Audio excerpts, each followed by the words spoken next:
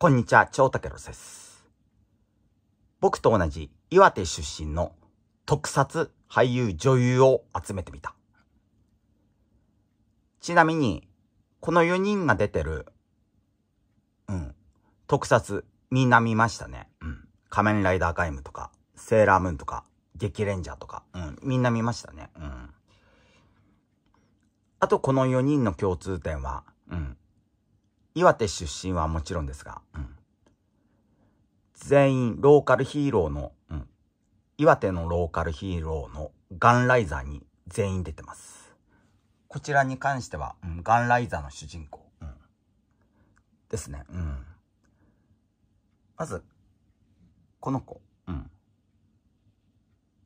白井由美さん、うん。仮面ライダーガイムに出てました。うん。他に、あの、麻雀漫画、先の実写版の、うん、ドラマにも出てました。あっちが変だったかな、うん、次、こちら。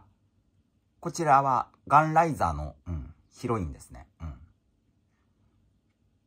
この方も、うん。麻雀漫画、先のドラマに出てました。カムラマミさん。次。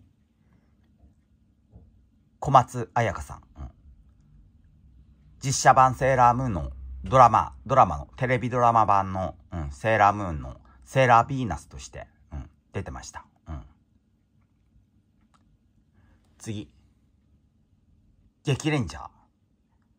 激レッドの、うん、鈴木祐樹さん。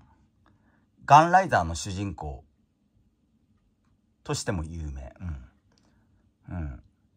ですね。この4人ですね。うん。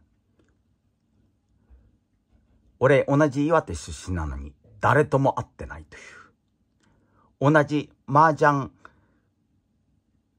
漫画先の実写版の、うん、浅川奈々さんには出会ってるんですけど、うん、この4人には一度も出会ったことがない。ご視聴ありがとうございました。